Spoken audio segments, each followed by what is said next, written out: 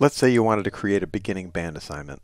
I'm going to go with the treble clef and I'm going to make this assignment for trumpet. So I'm going to add a part, go over to brass and choose trumpet. So now I have a trumpet part. Uh, since I don't need the piano, I'll get rid of that. And let's put this into the key of B flat. Now I'm in I'm in concert pitch here. I'm in the key of C.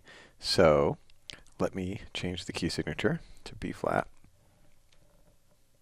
And now I'm okay. So concert pitch is B flat. Great. We're going to do Good King Wenceslas. And I'm going to take my cursor over here, and my keyboard is already hooked up, so I'll go right ahead and play. That needs to be a half note.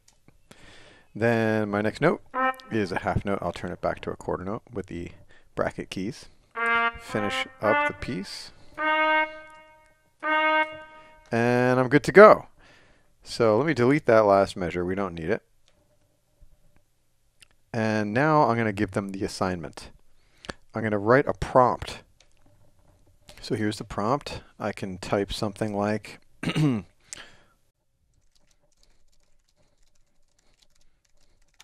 and then I'll ask them to record the piece. You're going to have to explain this to your students. They're going to have to be familiar with how to use this. But um, our school district is one-to-one, -one, so we could practice this all day long with Chromebooks. Every time they come into class, they can open their Chromebook and get used to doing this. Anyway, I'll give them the first one. Here's the K tool. I'll type first valve.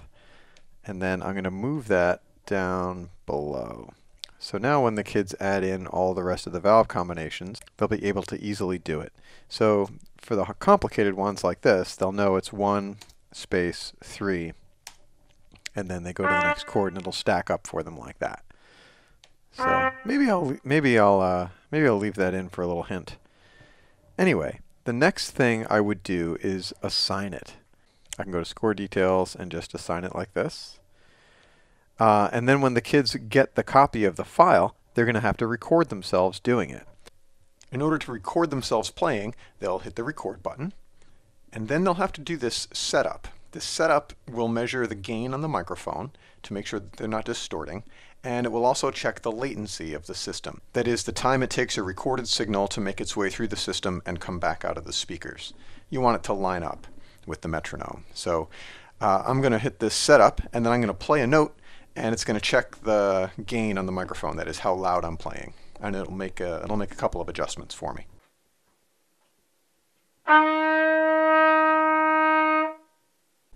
It seems to be happy with my level, which is great. I'll go on to the next step. This is that latency step. It's going to play a tone for me.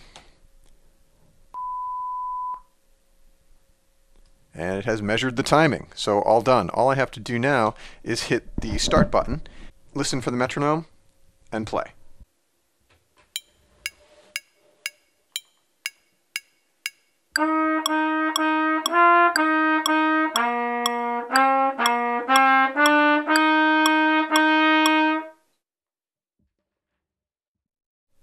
And after a second, the audio file will, will come in. And here's what that sounds like.